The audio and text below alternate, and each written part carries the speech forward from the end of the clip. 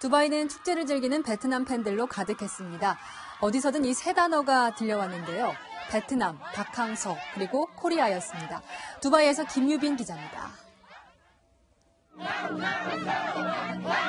요르단과의 경기를 마친 직후인데요. 보시는 것처럼 경기장 밖은 베트남 팬들이 가득 메워서 축제 분위기를 즐기고 있습니다.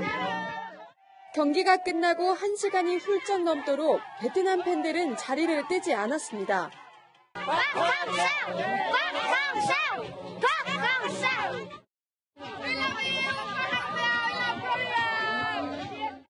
두바이를 직접 찾은 베트남 팬들은 경기에 대해서 냉정하게 분석하면서도 박 감독에겐 애정 가득한 평가를 내놨습니다.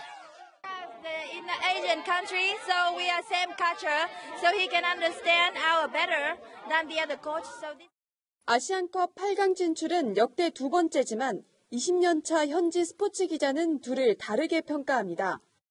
바로 박 감독이 있고 없고의 차이입니다.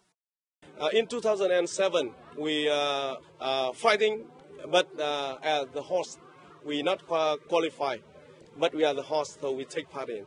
And uh, in uh, this tournament, we qualify. Thank you, Mr. Park Hang-seo, for everything good that he bring to Vietnam football.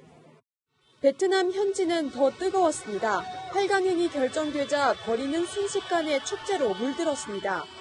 박 감독의 캐릭터와 태극기는 기본이고 마트에서 장을 보는 사람들까지 응원의 불을 지폈습니다.